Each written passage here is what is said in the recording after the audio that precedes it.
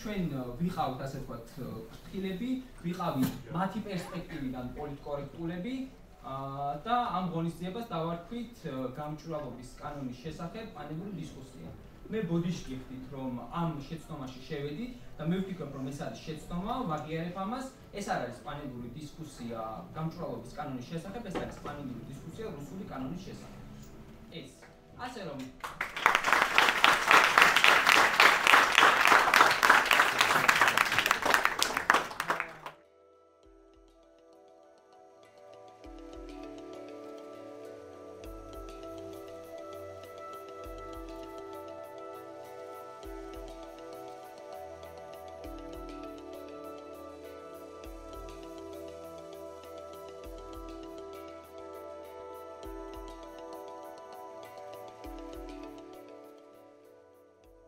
დავიწყოთ სახელწოდებით, მეც არ ვერაფრით დავარქვა ამას. იმას რაც ჩვენ კანონ თევანდაუს დღეს ქვია ხო გამიძრაობის შესახებ კანონი. აა და ვერც მაინც და მაინც რუსულ კანონს დავარქვა, იმიტომ რომ ეს არის რუსულზე უფრო რუსული კანონი. და ეს არის ანტიქართული კანონი. დავიწყოთ იმით, რომ თქვენ ვერ ნახავთ სხვა ანალოგებს, რომელსაც მათ შორის მართალი გუნდი ახსენებს. თვით პუტინის რუსეთი არიღებდა თავად დაფინანსებას ქვეყნებისგან, რომელსაც ეძახდა უცხო ძალას. ამაზე უფრო ზერუსული კანონი არ არსებობს დედამიწაზე, როგორიც ახლა დევს ჩემს წინ და არაერთგზის მაქვს საკითხი. ეს კანონი მეგობრებო, ეხება მხოლოდ ქართულ ენოვან მედიებს. ჩვენი აი ამ კანონის დამწერი ფიქრობს, რომ უცხო ძალის ინტერესების გატარება მხოლოდ ქართულ ენაზე ხორციელდება, საერთოდ რუსულად ის არ შეიძლება მაგალითად განხორციელდეს. ხო საინტერესო მიდგომაა, ასე როგორ უნდა დაწერო კანონი, რომ მხოლოდ ქართულ მედიებში. ძალიან ბრუტალურია სწორედ მედიული ნაწილი, იმიტომ რომ ის არ არ ზღუდავს არანაირ იურიდიული პირის სახეობას.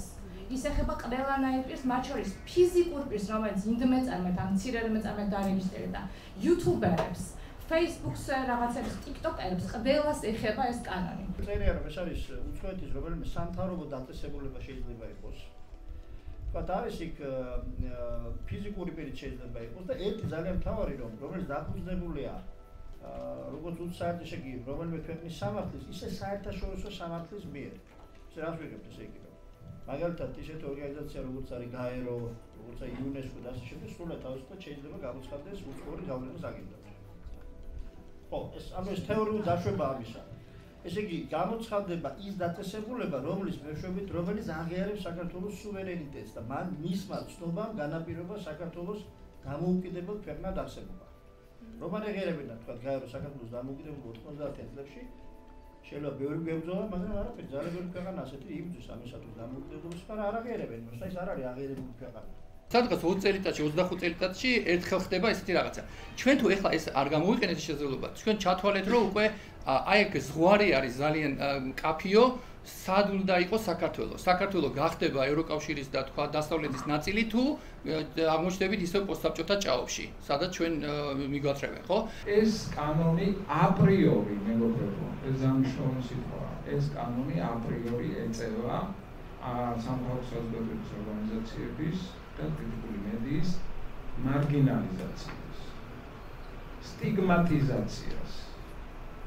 ეხლა კი თქვა რომ აქ ამოიღესო ასე ამოვიღეთ ტერმინი აგენტიო და არავითარ მნიშვნელობა არ აქვს ესე იგი გამოყენებულია აბსოლუტურად აგენტის სინონიმი უცხო ძალის ინტერესების გამტარებელი ანუ მარგინალიზაცია ხდება უკვე სახელდებით. 2015 წლის იანვარში პირველად გააჟღერა ბიძინა ივანიშვილმა და ვაციტირებ მას რომ სამოქალაქო საზოგადოება ძირს უთხრიდა ქვეყნის იმიჯს.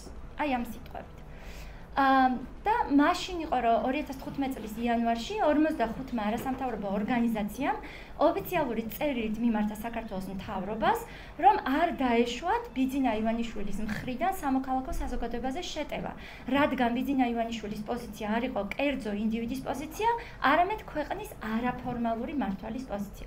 ანუ ზუსტად 10 წლის წინ სამოქალაქო საზოგადოებამ პირველად გააჟღერა გზავნილი, რომ ქვეყანაში ადგილი ქონდა ოლიგარქიზაციის პროცესს და ერთპიროვნულად ერთი ადამიანი წყვეტდა სამთავრობო ასე ვთქვათ, სამთავრობო პოლიტიკას ხო და ტაქტიკას საზოგადოებასთან მიმართებაში.